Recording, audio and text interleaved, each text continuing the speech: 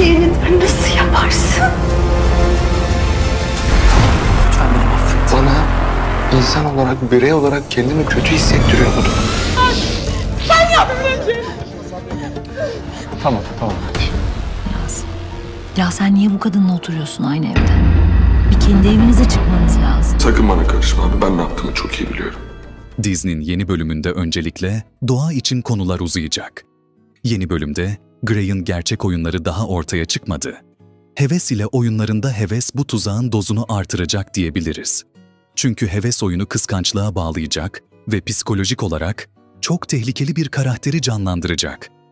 Bu sırada Abdullah Bey'in oğulları tarafından büyük darbe girişimine de uğrayacağını söyleyelim.